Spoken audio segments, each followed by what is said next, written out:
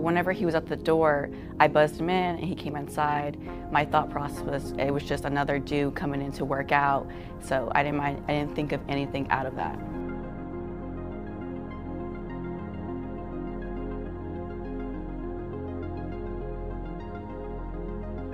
As soon as he was approaching me, I pushed him. I said, bro, what the F are you doing? Get away from me, stop trying to touch me. And he started chasing me around the bench and we ended up on the other side of the gym.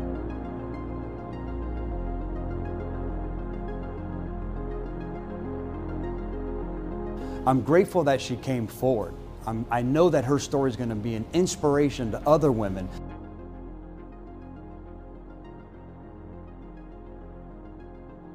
My advice would be to never give up. Uh, my parents always told me in life to never give up on anything. And that's one thing I always kept in my mind when I was fighting him. As, as long as you don't give up, you fight back, you show him that you are strong, that you are one, that you're able to fight back and survive this and get out of the situation, I believe it's possible.